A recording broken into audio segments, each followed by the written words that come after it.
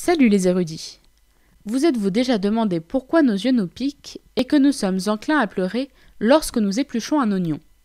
En tout cas, nous oui, et c'est ce que nous allons découvrir dans ce nouvel épisode du questionnaire.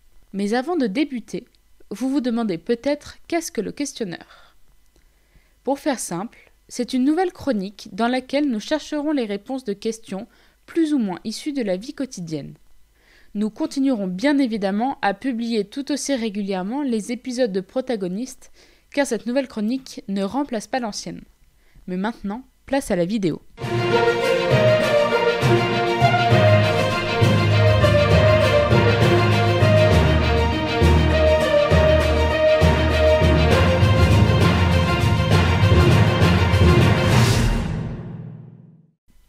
Comme vous le savez sûrement, Éplucher et couper des oignons provoque des larmoiements, plus ou moins forts selon les personnes et l'habitude.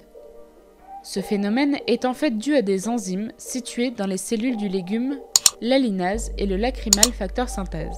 Une enzyme est une protéine régulant la vitesse des réactions chimiques permettant par exemple des métabolismes comme la respiration ou la photosynthèse.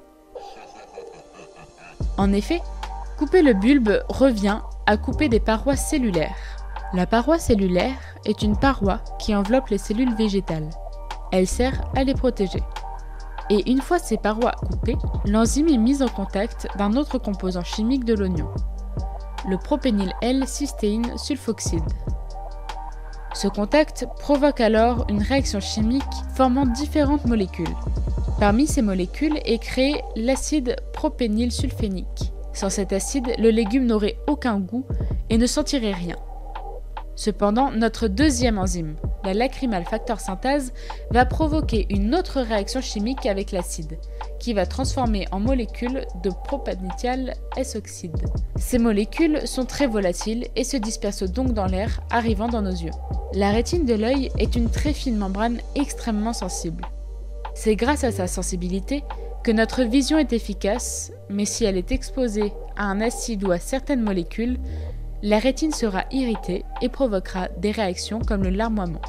Il n'y a donc aucun rapport avec l'hormone de la tristesse comme certaines personnes pourraient le croire, c'est seulement un acide qui va irriter l'œil. Cependant, ne vous inquiétez pas, à moins que vous ne vous amusiez à vous mettre toute la journée un oignon coupé sous les yeux, ce n'est pas cette molécule qui va détériorer votre vision. Voilà qui conclut ce tout premier épisode du questionnaire. Dites-nous en commentaire si cette nouvelle chronique vous plaît et pensez à vous abonner pour ne rater aucun épisode.